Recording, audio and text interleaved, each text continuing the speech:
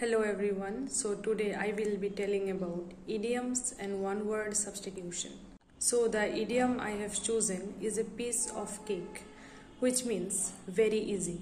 So with that I am giving few examples describing a piece of cake. So the first example is solving a problem is a piece of cake for me. And another example I can take is Cooking this new recipe is a, cake, is a piece of cake even for the beginners.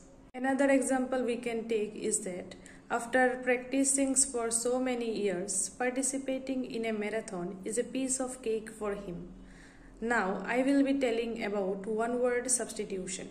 So the one word substitution I have chosen is conspirator, which means somebody who has a secret plan against someone so with that I am giving few example.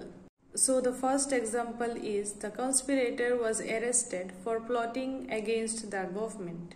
So for example we can say that the conspirator is plotted to overthrow the government by secretly organizing a rebellion. Another example we can take is that uh, as a trusted confidant, she became the key conspirator in a plan. Another example we can take is that the trial aimed to identify all the conspirators involved in the scheme. Thank you.